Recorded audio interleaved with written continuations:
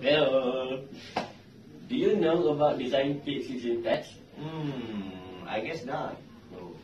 Do you know what is menu for navigation? No. No? No. Okay. Let's us show you About design tips in text and menus for navigation. stay tuned. Stay tuned.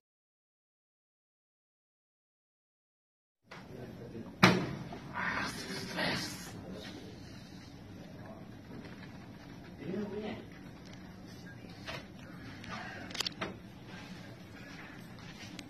is your problem, eh? Right now I'm having problem about designing using text. I don't know what to do, man. Do you know? Can you help me? Of course I can. Oh, It's- really? It's very easy, man. Can you show to me? It's more problem, man. Firstly, let me teach you uh, more specific about designing tips using text. Follow me.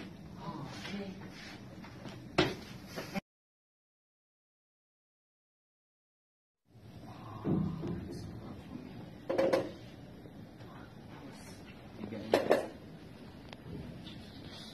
Those. Oh yeah. Uh, What is it? can you help me about menu for navigation? Menu for navigation. Yes. No. Yes, I can. Yes, okay. Yes.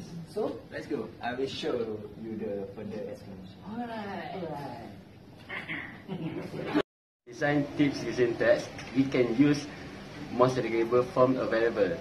We also can use it as few different form as possible. Uh, we we can use bold and italic and line spacing. To make more interesting, we can use color and background to make the type stand out. Besides that, we can use meaningful words for links and menus. Here is the example of the bold and the italic. Okay, this is the explanation for menu for navigation. For navigation uh, contains a lot of information for the audience.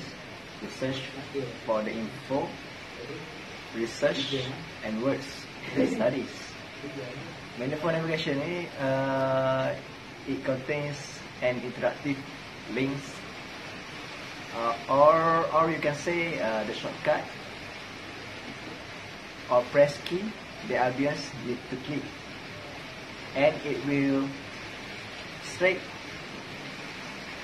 lead the audience to the things that they need for the for their studies okay now the example for the menu navigation is Okay, that's all from us.